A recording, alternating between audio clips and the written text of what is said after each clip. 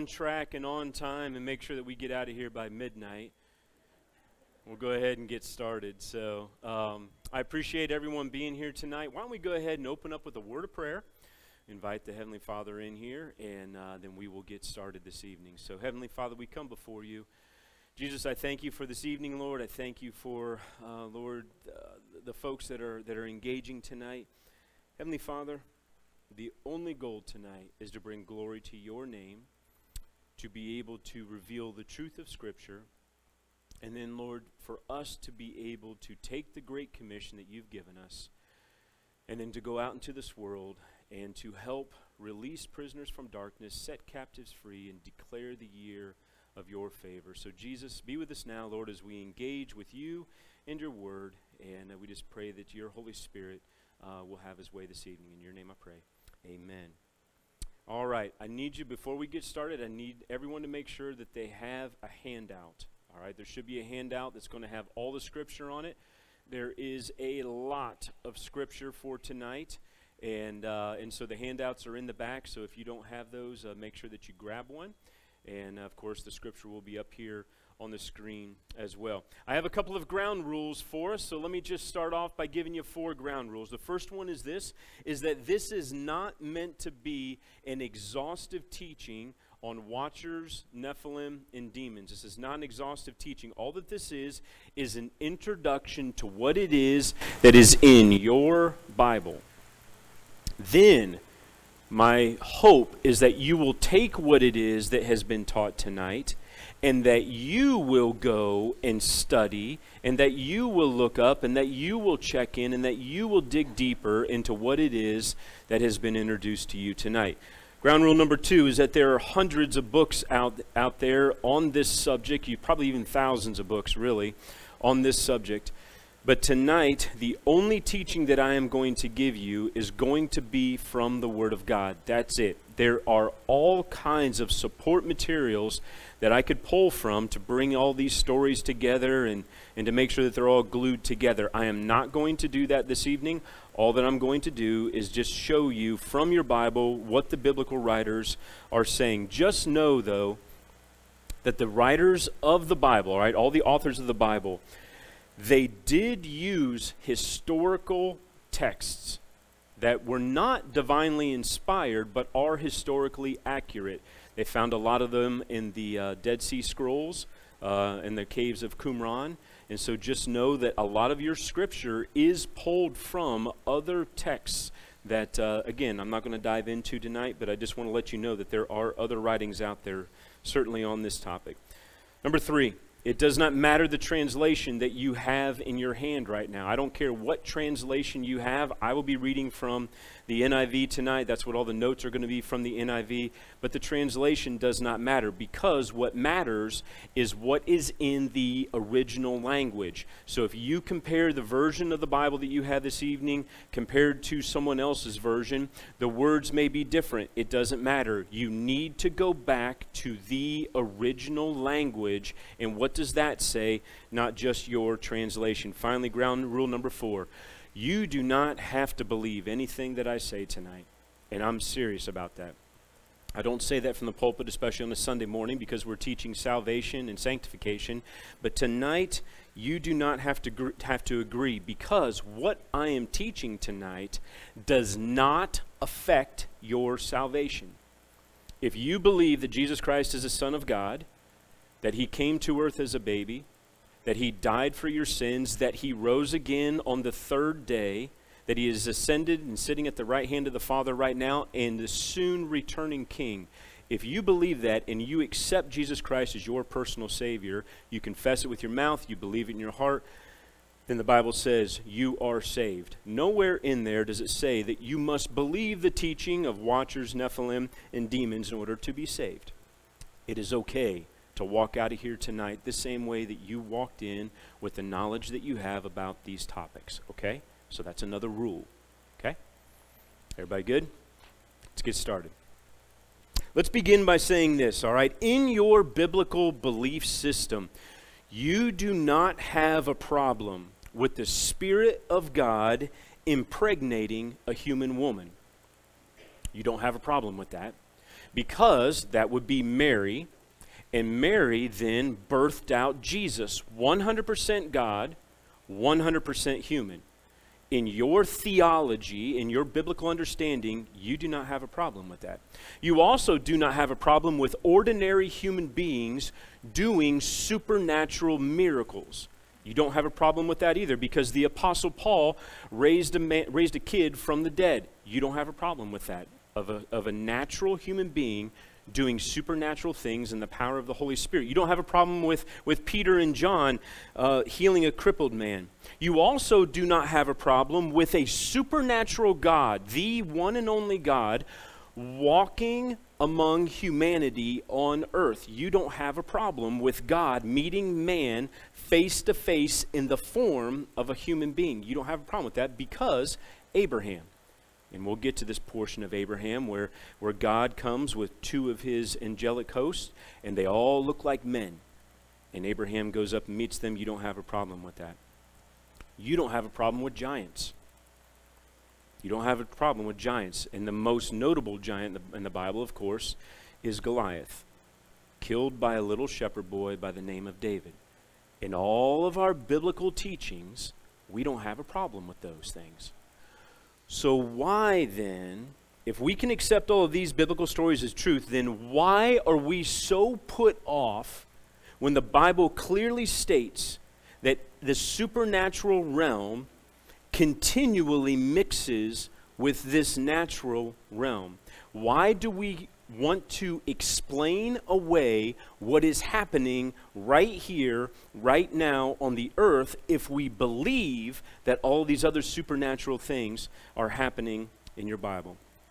Over the next few minutes, that's what I want to do is I want to introduce you to some passages of Scripture, and my prayer is, is that your eyes are going to be opened to what it is that is actually happening in this world that we are living in right here, right now. Then with the knowledge that you are given this evening, I trust that it will spark in you an absolute passion to be obedient to Christ and to do what it is that He is calling us to do. And that is go into the world and make disciples, baptizing them in the name of the Father and of the Son and the Holy Spirit. There is no other agenda for me to teach you this tonight other than to spark you into obedience to go into the world and make disciples, the great commission that Jesus has given to all of us. So, look at the first one there on your page. It's Psalm 82 in verse number 1. Psalm 82 1, this is what it says. It says, God presides in the great assembly, He gives judgment among the gods. Now, in the original language, this is how it would read Elohim presides in the great assembly and he gives judgment among the Elohim. Now, at first glance, you may say, wait a minute. Is the Bible talking about a pantheon? Is the Bible talking about many gods that are ruling this world? That is not what it states. Me make this clear from the very beginning. There is only one God, and his name is Yahweh. Elohim is actually a place. Elohim means a place, it's a place of residence. So there is only one God, Yahweh, but there are many Elohim. And God uses this Elohim, they are called a divine council. And God uses them to help run the universe. God does not need any help, but he chooses to use the help of a divine council found in Psalm 82, verse number 1, to help run this universe. He doesn't need it, but he chooses to use it. A very loose analogy, maybe to help you to begin to understand this from the very beginning, is that if you take the mayor of a city, and the mayor of a city has a city council, and what they do is they try to administer law, they, they, they, want to administer justice, and they want to have administration on how to run the city and to make decisions. But everything falls on the shoulders of a mayor. Now, again, very loose analogy for what I'm trying to explain. God does not need a divine council, but he chooses to use one. Now, let me show you some examples of this divine council at work. The first one is going to be found in 1 Kings chapter 22 verse number 19. And this is what's going to happen is that the, the divine council is going to be in session with God and they are discussing what do we do with King Ahab. God is going to inquire of his counsel and this is what it says. Look at verse number 19. I saw the Lord sitting on his throne with all the hosts of heaven standing around him on his right and on his left. That's the divine council. Verse number 20. And the Lord said, Who will entice Ahab into attacking Ramoth Gilead and going to his death there? One suggested this, another that. By what means, the Lord asked, I will go out and be a lying spirit in the mouths of all of his prophets, he said. That's one of the divine council members that just said that. You will succeed in enticing him, said the Lord. Go and do it. You just sat in on a session of a divine council where God is presiding over the other Elohim, and he says, We've got this king. What should we do with him? Do you even find it interesting that the suggestion of lying, where is God sitting in this verse? On his throne, right? This is in the presence of a holy God, but yet one of his divine council members says, Hey, I know what we can do. Let's put a lying spirit. If that's one of God's top 10, I find it very interesting that there's a negotiation that happens at the very throne room of God. Now, there's another session where the divine council is coming together. This time, Satan is a part of it. In the book of Job, Satan, you know the story, all right? I don't have the, I didn't pull the scripture up on this one, but you know the story in the book of Job. Satan must come and give an account to God. Where have you been and what have you been doing? I've just been going around the earth back and forth. Satan has to answer God. And then there is a conversation that begins to take place between God Yahweh and then another Elohim, Satan, Lucifer and they begin to talk about Job, and there is a conversation, a give and take that begins to happen here. God is the ultimate judge. He can do whatever it is that he desires to do, but he's choosing to use a divine council to say, Well, what do you think you should do? Another session of the divine council is found in Isaiah chapter 6 and verse number 8. The divine council is in session once again in front of God. They are giving an account to what it is that's happening, and they're making decisions on how to run the universe. And God is allowing this to happen. But this time, a human is actually attending this divine council meeting. In verse number 8, this is what it says. It says, Then the Lord, th- then I heard the voice of the Lord saying, Whom shall I send? Who will go for us? And I, it's talking about Isaiah, you know what your Bible says, that's Isaiah. He says, And I said, Here I am, send me. Even in the presence of God, the other Elohim that God has created, He's created them all, they can sit in the presence of God. Satan himself can enter into the presence of God and have a conversation. Mankind can enter into the presence of God and have a conversation with the one and only true God, Yahweh, and we get to help and they get to help administer what happens on this earth. You've heard it said in Genesis chapter 1, verse number 26. Then God said, Let us make man in our image, in our likeness, and let them rule over the fish of the sea, the birds of the air, and over the livestock, and over the earth, and over all the creatures that move on the ground. Who will go for us is what Isaiah said. Is God talking to himself, the Father, Son, Holy Spirit? Or when God said in the book of Isaiah, Who will go for us? Is he talking about the divine council? What's happening here is that you have heard it taught that in this particular passage of scripture, the us in the Genesis 126 scripture is God the Father, God the Son, God the Holy Spirit. He's talking to himself. I would contend that that is wrong. He's not talking to himself. There is only one God, there is only one creator. But we're trying to figure out what do these guys look like? All right, what does these divine council look like? For this answer, you need to go to Job 38, verse number 7. Job 38, 7. Where were you? This is God talking to Job at the end of Job. Again, you know your Bibles. So, where were you at the laying on the foundation of the earth? Tell me if you possess understanding. Who determined its measurements? Yes, you do know. Or who stretched out the measuring line upon it?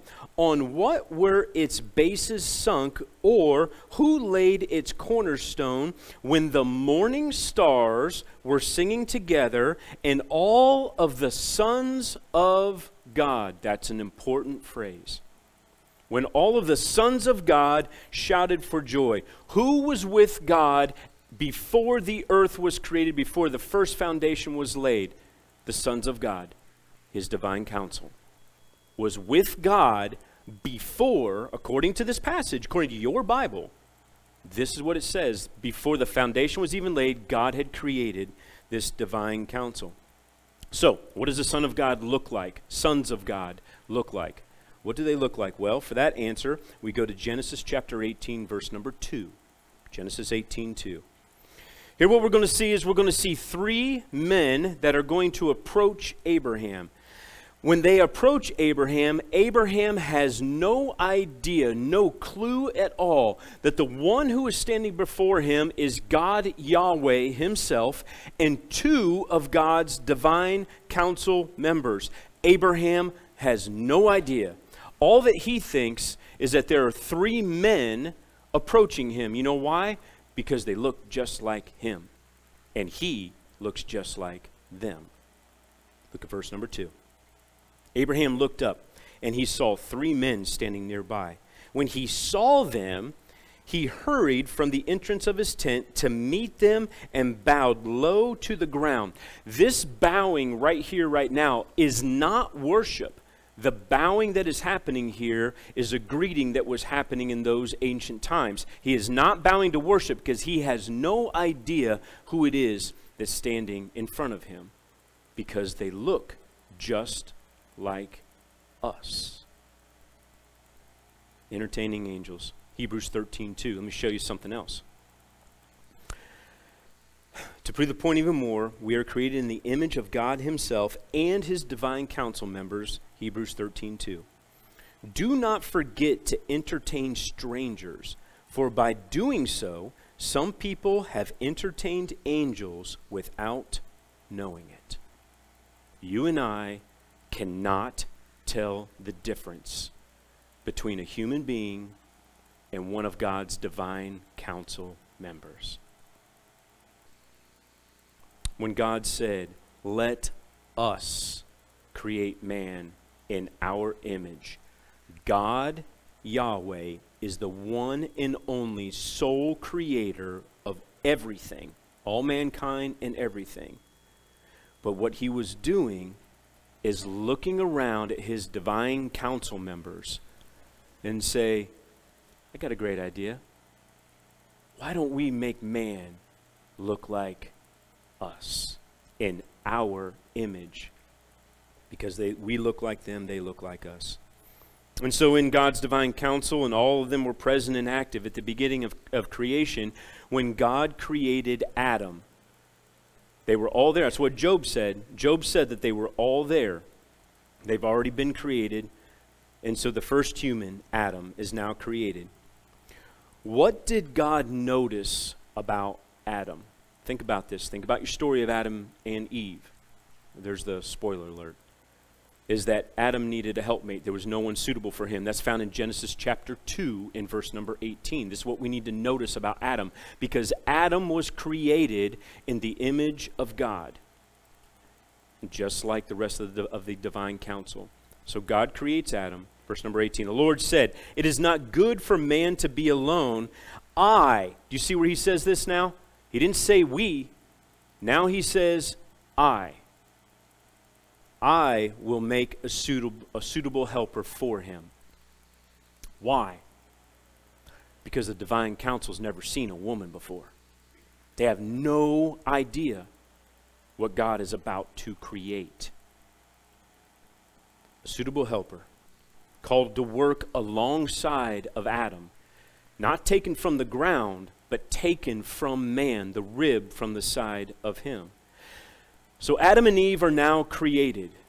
Eve, women are very unique to all the everything that God has created. Woman is probably the most unique. What, are, what is their job? What job did God give to Adam and Eve? We find that in Genesis chapter 1, verse number 28. God blessed them and said to them, Here's their job be fruitful and increase in number. Fill the earth and subdue it, rule over the fish of the sea, the birds of the air, and every living creature that moves on the ground. What is the human being's job? To rule over the earth and fill it with more human beings, procreate. Having sexual relations, one man, one woman, in a covenant together, and make more human beings. That's what the job of a human is. That's what God gave us to do. So, what happens then when a divine council begins to get involved and actually sins? Well, for that, you need to look at Genesis chapter 6 and verse number 2. Because they are going to do something that they were never created for or intended to do. This divine council of God that was there from the very beginning, that God Himself created, that He uses to run this world, to run this universe, to run everything that He does, they're about to do something that they should have never, ever, ever done. Genesis chapter 6, verse number 2. The sons of God, there it is again, the sons of God, these are other Elohim, these are not men, human beings. These are other human these are other Elohim. The sons of God saw that the daughters of men were beautiful, and they married any of them that they chose. Now your Bible's getting weird. All of a sudden, things, if it, did, if it wasn't weird yet, things just got really strange in your Bible in Genesis chapter 6, verse number 2. Daniel chapter 4, verse 17. It's not in your notes, but if you want to write that on the side. Daniel chapter 4, verse number 17. He refers to the sons of God, Daniel refers to the sons of God as watchers. Watchers. Anytime you see sons of God, that would be a watcher. So the watchers married human girls. Were human girls created for the sons of God? No. Human girls were created for human men, not for anything in the Elohim or sons of God or watchers. But the watchers left their place, disobeyed what it is that God had originally commanded them to do. And they engage with women, human women.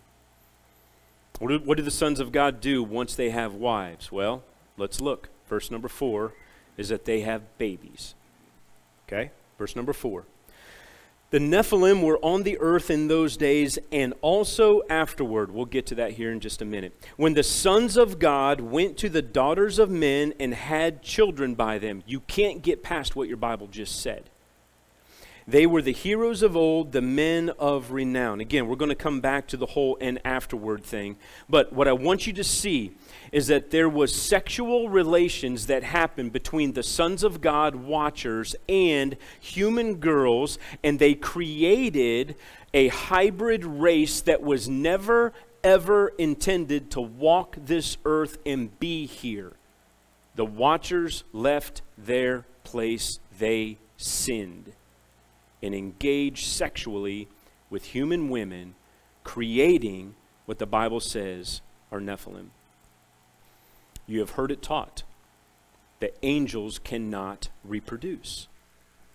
Nowhere in your Bible does it say that an angel or any of these Elohim beings cannot reproduce. It does not say that. It just says that they don't. And I know what Jesus said in that passage and he says that they will be like the angels. What does that mean? We don't need to procreate. Doesn't mean we can't. We just won't need to. Why don't they reproduce? Because they don't have a helpmate. The helpmate was created for Adam. There is no helpmate, a sexual partner for any of these watchers and Elohim, these sons of God. So what happens is, is that these watchers, they step outside the bounds and they sin. They have sexual relations with human women. God is not happy about this. So this is why God created hell. You ever wonder why God created hell? Why would God create hell? Does he want to send humans there? I will argue he does not. Hell is not created for human beings. It was originally created for these sons of God who sinned and had sex with human girls, creating the Nephilim, a hybrid race that has an infected bloodline that begin to taint the entire world. What happened to the ones that sinned?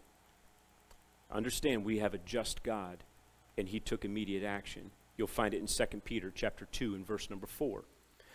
For if God did not spare angels when they sinned, what was the sin? Having sex with the human girls, creating these Nephilim. So when they sinned, but sent them to hell, putting them in gloomy dungeons to be held for judgment. That is why God created hell, to hold them in until the judgment. Jude 1 6, this is what it says. And the angels who did not keep their position of authority. You see what that says?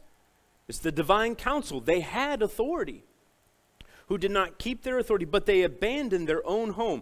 These he has kept in darkness, bound in everlasting chains for the great for judgment on that great day. Why did God create hell? He created it for the sons of God because they lost their position, because they had sex with human girls. They created offspring that then became in total rebellion to God, and the Nephilim are unredeemable.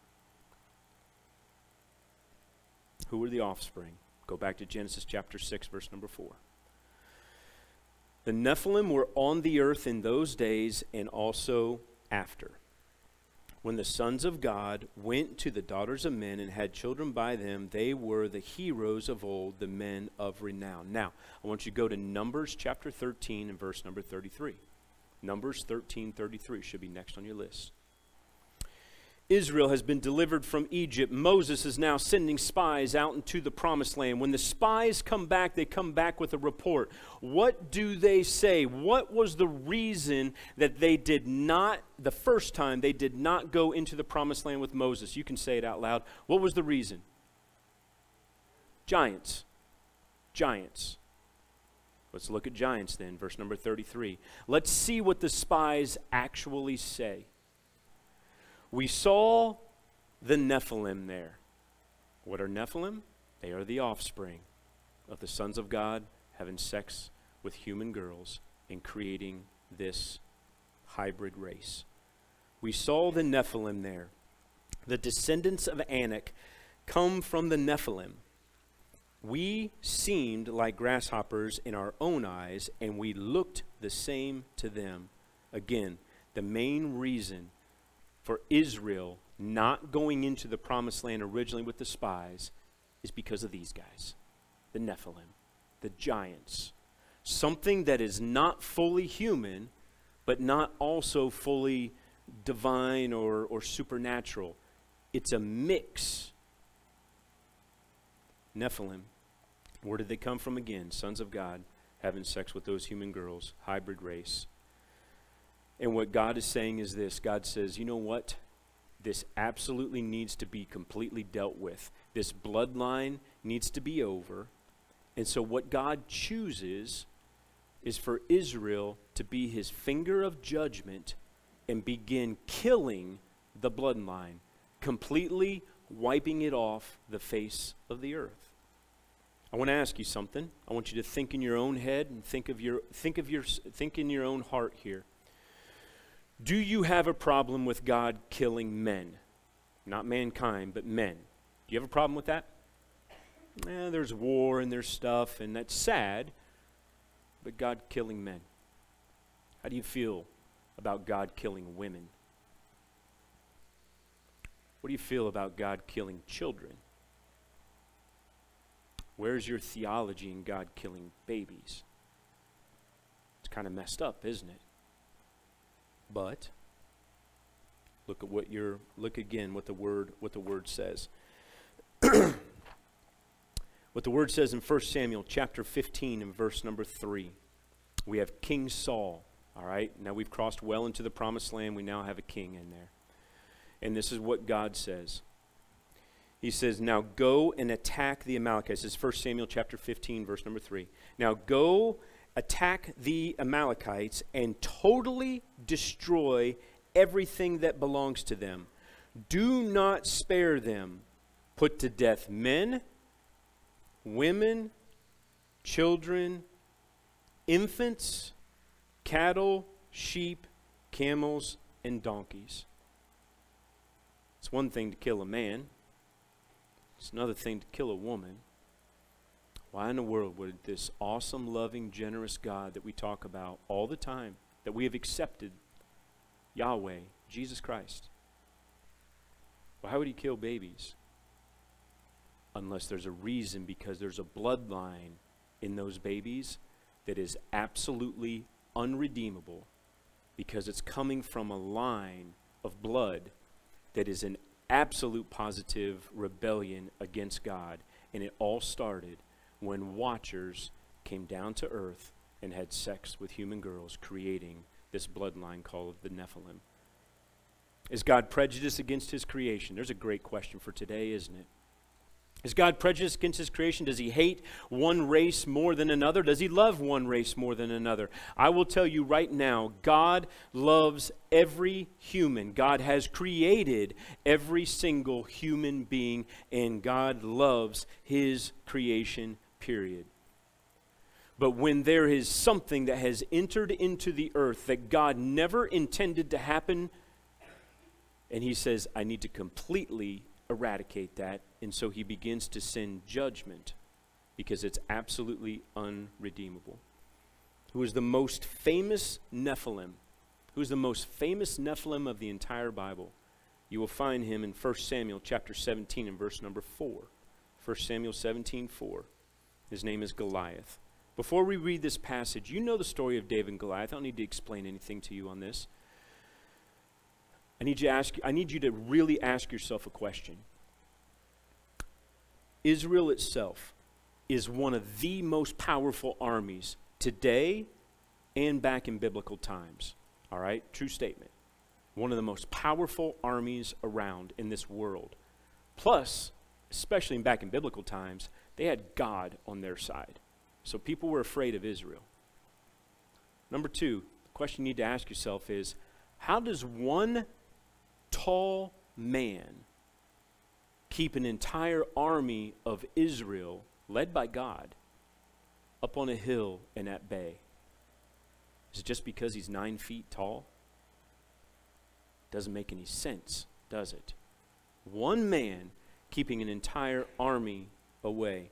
Then, once a little shepherd boy comes in with a sling and a stone, knocks him down, and then takes a sword and cuts his head off and kills him, all of a sudden, the Philistines don't even come down to fight. Their hero is dead, and their entire army turns around and runs. And now, all of a sudden, Israel has all the courage to run down the hill into the valley and up on the other side and to pursue the Philistines. Why? Because maybe, just maybe, the story changes if you see Goliath as not fully human, but instead as a Nephilim, something that we would say today in our lingo and say would be a demigod. Not fully human, not full Elohim, sons of God, but something, some kind of a hybrid race with supernatural strength and height, and everybody knew it. Look at verse number four.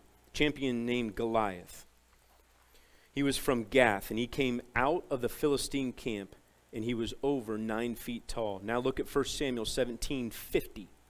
There's a little boy, we know him as David, and he goes out and he kills this giant, this Nephilim. Verse number 50. So David triumphed over the Philistine with a sling and a stone. Without a sword in his hand, he struck down the Philistine and killed him. That is very, as a very important biblical text because it just showed us that that bloodline can be killed. All right? It can be killed. Let's go back to Genesis 6 now. All right? Keep up with me. I'm building something here for you. Let's go back to Genesis 6, pre flood. Okay? Pre flood. Nephilim are on the earth. The earth is absolutely corrupt. Just know that when God said he looks at the earth and he sees the corruption on the earth, what he sees are giants like Goliath that are ruling over the earth, mixed with humans. And God says, I must bring judgment. And so God brings the flood to stop that bloodline. We've established that the sons of God procreated with human women. They produced offspring called the Nephilim. Now, look at what the next verse says in Genesis chapter 6, verse 11. So the Nephilim are on the earth. Now the earth was corrupt in God's sight and it was full of violence. God saw how corrupt the earth had become, for all people on the earth had corrupted their ways. So God said to Noah, I am going to put an end to all people, for the earth is filled with violence because of them. I am surely going to destroy both them and the earth. God is now going to come to war and judgment with the earth. And it's because of a bloodline of Nephilim. Now, he's going to destroy men, he's going to destroy women, and he's going to destroy children at the time of the flood. This does not discount human nature. What happened in Genesis between Satan and Adam and Eve. There is still human nature that is involved in this. So it's not all just about the giants. It's not all just about these sons of God and watchers. It's not all about that. There are still human beings that are on the earth, but the problem is is that back in the garden of Eden, human beings sinned, therefore putting putting enmity between between God and humans, and God says, "I need to I need to to bring back and redeem the humans. But these other things out there, God says, I'm going to completely annihilate and I'm going to destroy them. From other passages, we see the, that, that this corrupt bloodline is certainly here. At this point in our Bibles, again, we're not, dis, we're not disregarding uh, the human nature of things. Now, if you're following along, we've got the flood, we had giants and Nephilim that were on the earth before the flood. We have humans that were on the earth before the flood. We know from Hebrews that Noah was trying to preach to the humans, actually, and saying, hey, repent and get into the ark. Get into the ark of safety because the judgment of water is coming. But no one did except for Noah and his wife and then his sons and their wives. So now they're on the ark. If you believe in the global flood, which I do, I don't think it was regional. I think it was absolutely global that everything, everything on earth died. Okay? Everything that has breath died. Then the question you should have is how did Goliath get here then? If everything died in Genesis 6, how did Goliath how, how did Goliath and the Nephilim come back? Remember Genesis Genesis 6 chapter 4. The Nephilim were on the earth in those days and also afterwards. There's a couple of thoughts on this. No one knows for sure. There's a couple thoughts on how they got here afterwards. Thought number one someone in Noah's family carried the blood of a Nephilim. Thought number one. Thought number two a new set of the divine council did it again. Left their position, sinned, came down, and had sex with girls and created yet another line after the flood of Nephilim. That's another thought.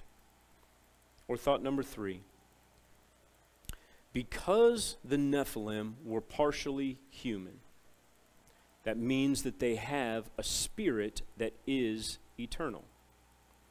So when the Nephilim dies, like Goliath or even during the flood, when they died, where does their spirit go?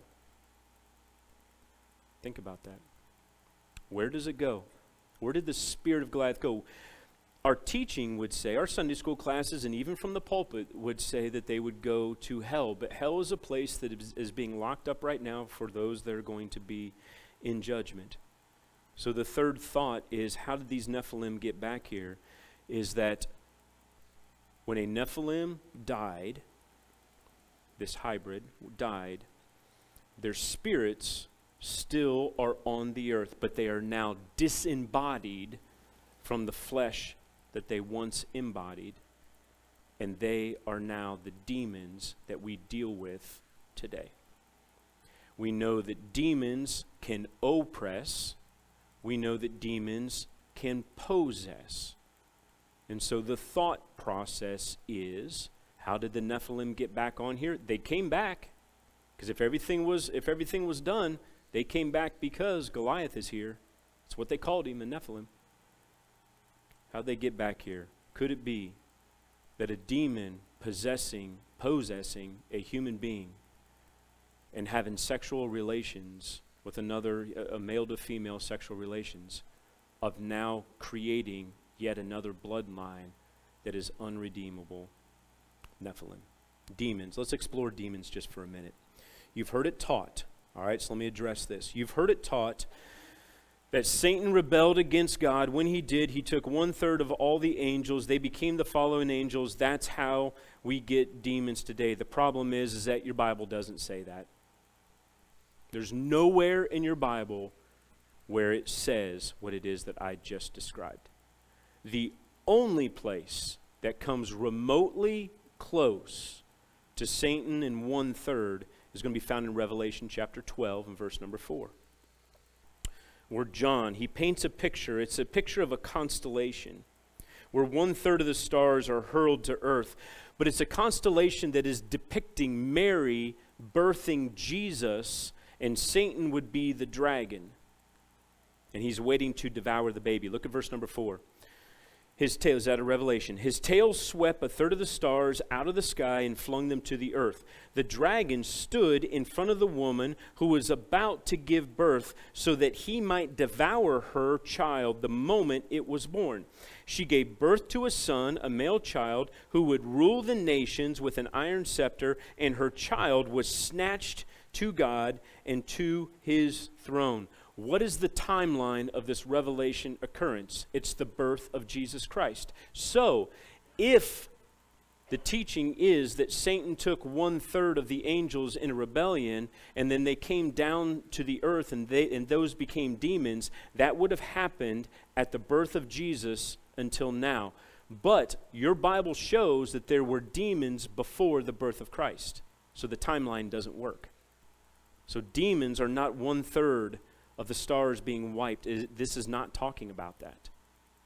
The demons that we deal with today are disembodied spirit of a hybrid bloodline because the sons of God had sex with human girls and created something that is unredeemable, unredeemable in an absolute rebellion to God. They can die, but their spirits are still here, oppressing and possessing human beings today. Isaiah chapter 14, verse number 12. Let's talk about Lucifer. Let's talk about the fall. Oh, how you have fallen from heaven, O morning star, son of the dawn. You have been cast down to earth, you who once laid low the nations. Satan is not in hell yet. He is roaming the earth. So, he lost his position. Nothing there is said about him taking one third of the angels. Those are not demons. Okay? Let's keep going. Let's talk about demons a little bit. Let's talk about a man possessed by a demon. Jesus encounters a man in, in, Mark chapter 5 and verse number 2. And this is what it says When Jesus got out of the boat, a man with an evil spirit came from the tombs to meet him. This man lived in the tombs no one could bind him anymore. I want you to think about Goliath, okay? I want you to think about Goliath. No one could bind him anymore, not even with a chain, for he had often been chained hand and foot. But he tore the chains apart and broke the iron on his feet. No one was strong enough to subdue him. Why was this man so strong? Because he was possessed by a disembodied spirit of a Nephilim that is called a demon. And the demon has supernatural strength that can enter into a human being and create something that other human beings cannot even control because it's so strong. The demon speaks. Take a look at this. When he saw Jesus from a distance, he ran and fell on his knees in front of him. He shouted at the top of his voice, What do you want with me, Jesus, Son of the Most High God? Swear to God that you won't torture me. What does that mean? Remember hell? And the other, the other, he knows where his father is in hell right now. Don't torture me. Don't send me there. Verse number eight. For Jesus had said to him, Come out of this man, you evil spirit. This is a conversation between an evil spirit and Jesus. Because Jesus exorcised that demon from that man. The demon is what it is that's talking to Jesus. The man has been set free. So,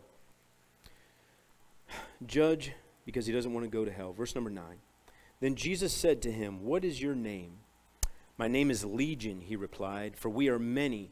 And he begged Jesus again and again not to send them out of the area.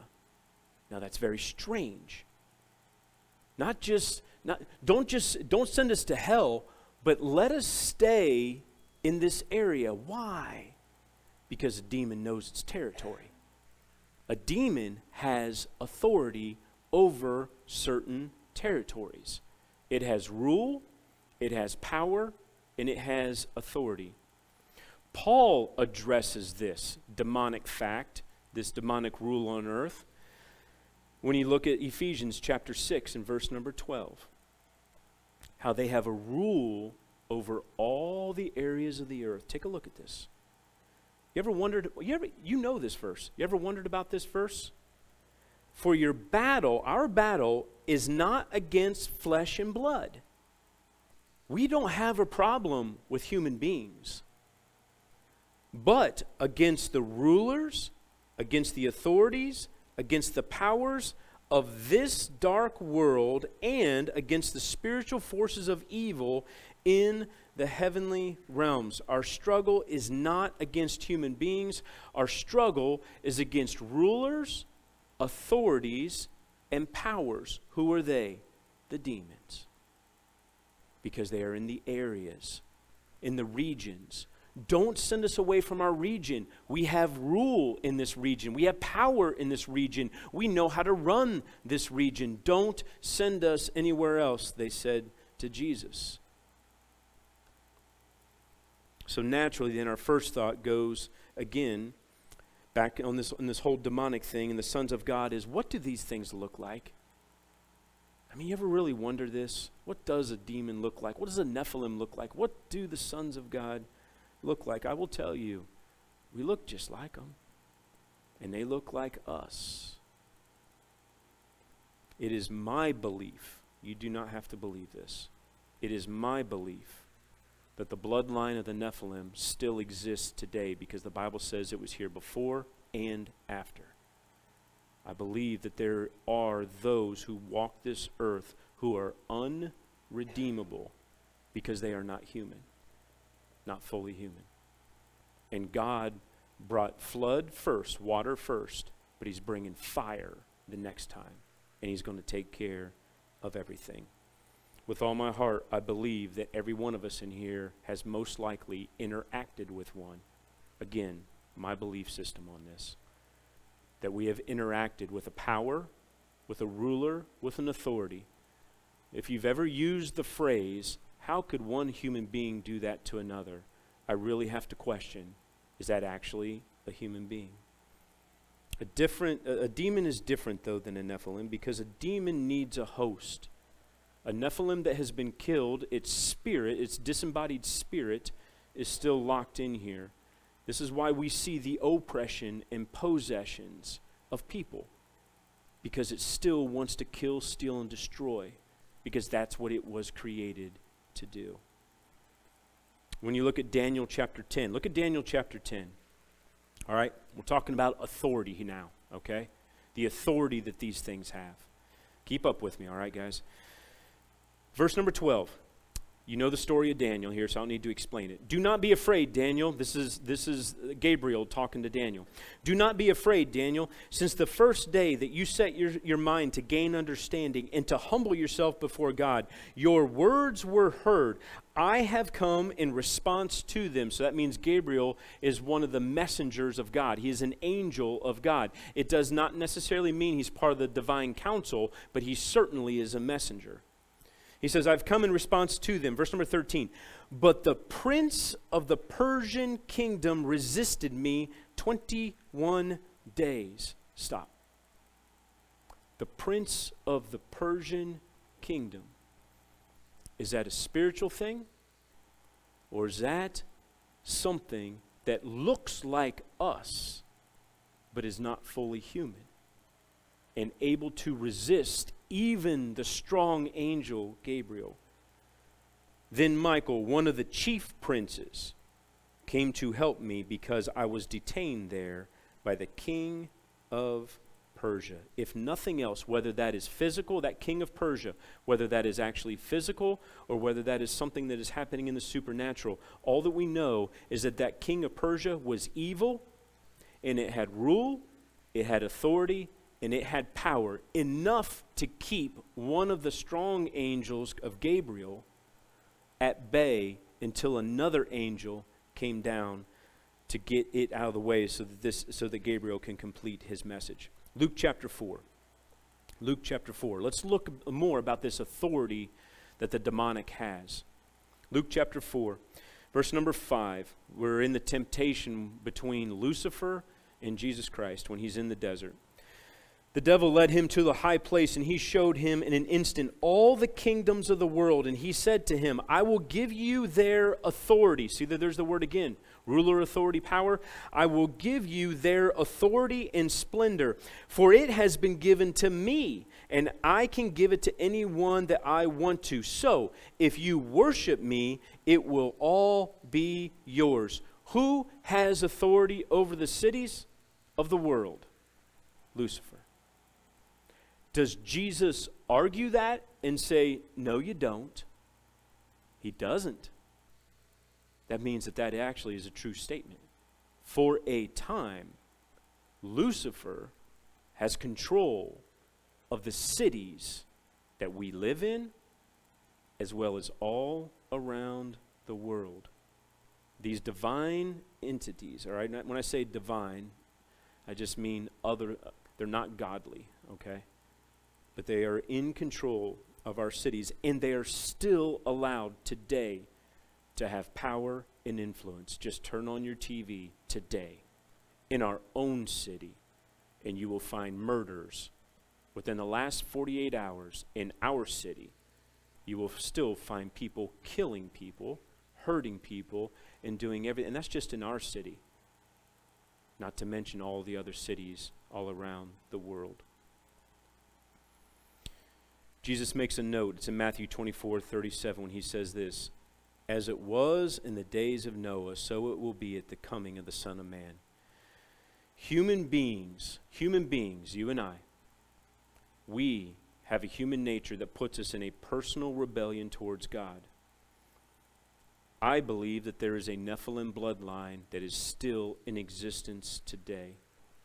And the devil and the sons of God are continually allowed to have rule, to have power, and to have authority over this world that we are living in right now.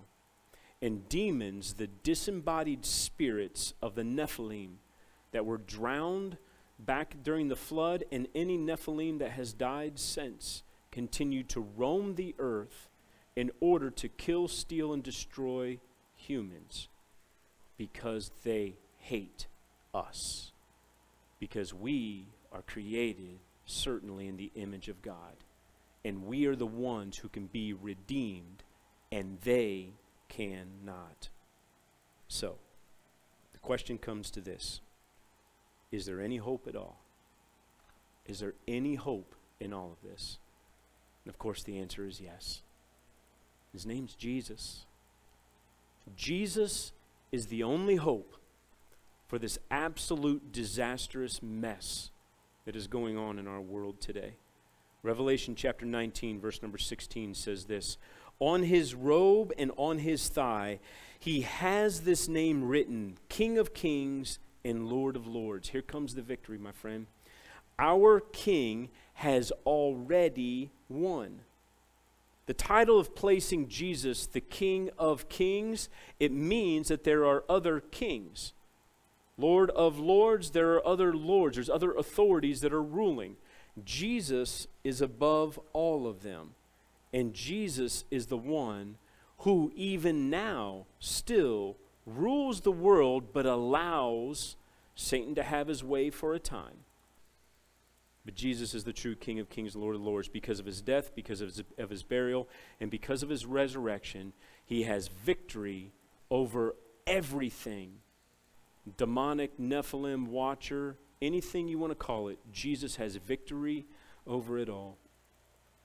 The wisdom of God is so much greater than anything that is in power right now. 1 Corinthians 2 7. No, we speak of God's secret wisdom, a wisdom that has been hidden and that God destined for, for our glory before time began. None of the rulers of this age understood it. That is this demonic realm. None of the rulers of this age understood it. For if they had, look at this. Did you know this is in your Bible? They would not have crucified the Lord of glory if these demons, if these Nephilim, if these sons of God, these watchers, if they would have known that killing the Son of God would mean their demise and ultimately lose all of their power, that passage says they would not have done it. You know what this means? God is wiser, God is greater, God is stronger, God won. Jesus won. Understand that God has now put into a place a plan of redemption for us, for mankind. We need saved.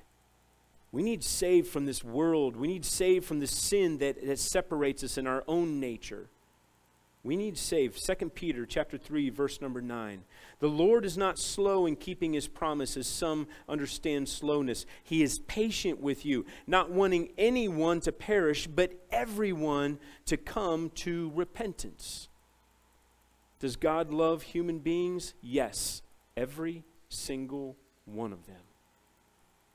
In the Old Testament, the men, the women, the, chi- the children, the infants, God does not change. He still wants everyone to be saved unless they are part of a bloodline that is unredeemable, and that would be out of this Nephilim blood. I hope your Bibles are making sense to you. Does God want you to go to hell? Absolutely not. God does not want any human being to go to hell. Hell was created for those watchers who sinned. That's who hell is created for. But if any human being that God has created chooses to not accept a free gift of salvation, then the only place for eternity for that individual human soul is a place called hell that was originally created for these demons and for these watchers and for these Nephilim. God does not want to send anyone there. It's a choice that a human has. Will you spend eternity with God or will you spend eternity in hell. Authority has been given back to mankind. Look at Matthew chapter 10, verse number 7. Jesus is going to tell them this when Jesus is here with his disciples. He's going to tell them about the authority. They're watching authority all around them. And let me just tell you the disciples, Peter for sure, because he writes about it, they believe in these Nephilim giants. They, they believe this stuff. Whether you choose to believe or not, it's up to you. They believed this. So when Jesus is talking about authority, they understood exactly what he's talking about. Look at Matthew chapter 10, verse number 7. As you go, preach this message The kingdom of heaven is near. Heal the sick, raise the dead, cleanse those who have leprosy, drive out demons. Freely you have received, freely you must give. Death, sickness, disease, demons, all of this is part of this dark world that we live in. The amazing thing is, Jesus said, I have given you power over all of that because of the Holy Spirit that lives inside of you. You have power over the demonic. You have power if Nephilim and the bloodline still exist, you have power over that because the Holy Spirit living in you. Even the sons of God, the watchers, especially those who sin, you have power over them because the Holy Spirit that lives inside of you. Luke chapter 10, verse number 17. The disciples exercise that power. The 72 returned with joy and said, Lord, even the demons submit to us in your name. They're excited because they know what a demon is. They know how powerful it is. That's what they're excited about. Jesus, he's pleased with the report, but look what it says in verse number 18. He replied, I saw Satan fall like lightning from heaven. I have given you authority, there's that word, authority, to trample on snakes and scorpions, to overcome all the power of the enemy. Nothing will harm you. Nobody in here needs to be afraid. However, however, do not rejoice that the spirits submit to you, but rejoice that your names are written in heaven. This fall of Satan is not Satan being kicked out of heaven. That's not it. What Jesus is describing is his fall of power because now individual men that God has that Jesus has given the power to exercised it, it worked, and now all of Satan's power is beginning to crumble and fall. He has no power over you. You have the Holy Spirit living inside of you. You are the most powerful entity, human, that walks the earth because you have the Holy Spirit inside of you. As Christians, we are given authority in this kingdom right here on earth. Look at, look at how the authority of God transfers to us. It's going to be found in Isaiah chapter 62, or I'm sorry, chapter 61, verse number 1 and 2. The Spirit of the sovereign Lord is on me, because the Lord has anointed me to preach the good news to the poor. He has sent me to bind up the brokenhearted, to proclaim freedom for the captives, freedom for the captives, to release from darkness for the prisoners captives and prisoners. That's what the demonic, that's what Nephilim, that's what the watchers, all of them have people, humans, in prison and darkness. But we get to set them free. To proclaim the year of the Lord's favor and the day of vengeance of our God, to comfort all who mourn. The same Spirit that raised Jesus Christ from the dead lives inside of you. You can have victory over Satan. That's a really good place to shout amen. Yeah. All of this talk back here, it actually means nothing now. You know why? Because you have the power of the Holy Spirit living inside of you. Anything that I've talked about, anything that I have explained, you should not even get excited to talk about demons. What you get excited about is knowing that your name is written in the Lamb's Book of Life. That's what we get excited about not about Nephilim, not about demons, not about watchers, because you hold more power and authority in this world than any demonic imp that is walking around right now. John chapter 15, verse number 19, Jesus is speaking to his disciples. He tells them, If you belong to the world, it would love you as its own. Who controls the world right now? Authority, ruler, or power? Satan. So if you belong to it, you would be one of its own. As it is, you do not belong to the world, but I have chosen you out of the world. That is why the world hates you. The rulers, authorities, powers, Ephesians 6, that run the world right now. You know why they hate you? Because you have more ruler, authority, and power because the Holy Spirit that lives inside of you. You are more powerful than they are. Not because of you, but because of the one who lives inside of you, because of the salvation that is brought to you. And they hate you. They hate you. They hate me. They want you dead. Okay? They want you distracted. They want you depressed. They want you oppressed. They want you possessed. But you have more power because of the Holy Spirit living inside of you to absolutely change the world. In the meantime, Jesus has given us orders. These are, these are what the orders are. The orders are found in Matthew, in Matthew chapter 28 and verse number 19 and 20. This is what it says. Therefore, go into the world and make disciples of all nations, baptizing them in the name of the Father, and of the Son, and of the Holy Spirit, and teaching them to obey everything that I have commanded you. Surely I am with you always, even to the ends of the age. Did you see what it said there? All nations. Who has control over the cities right now? Satan. But Jesus said, if you are a disciple of Jesus Christ, that you are to go to all nations where these things are ruling and have power and authority and begin to overthrow it because of the power of the Holy Spirit living inside of you. Your battle is not with flesh and blood. Your battle is not with another human being. Your battle is against everything in this unseen realm but is showing itself in physical ways. Ephesians 6:13, what do we need to do?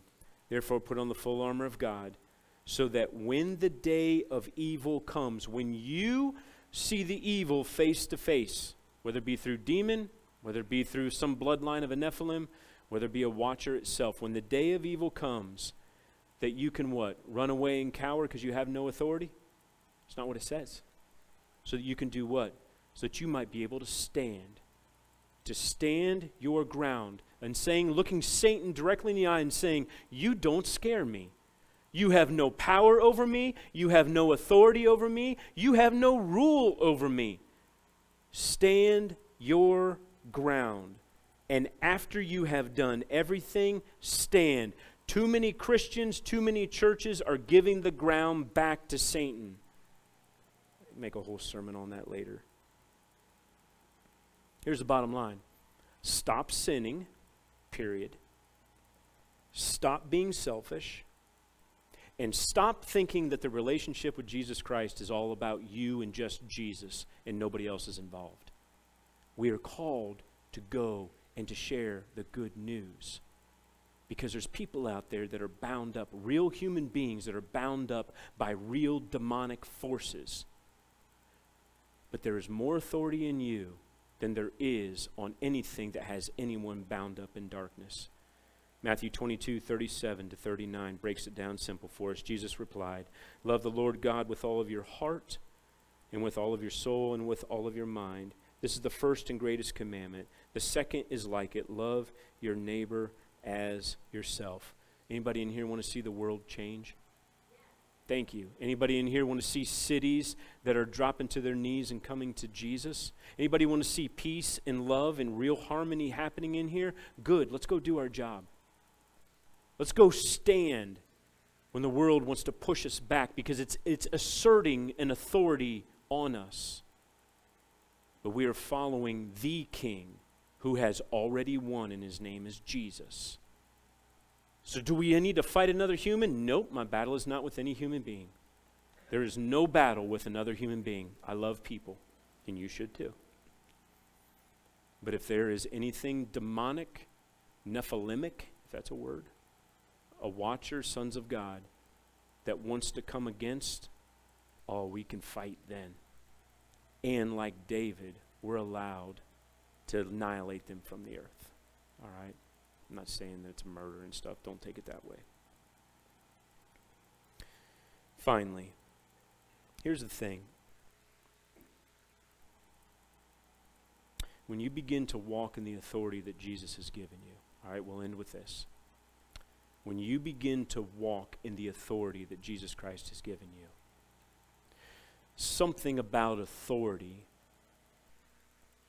nipping at the heels of every human being is pride. Look what I can do. You have the authority to heal the sick, to raise the dead. You have the authority to exorcise demons. none of this is done for your own glory. It is done for the glory of God. 1 Corinthians chapter 10 and verse number 31. So whether you eat or drink or whatever you do, do it all for the glory of God. I've been asking Jesus, how do we even close this? And I got to be honest with you, is that I don't know. At this point, I don't know.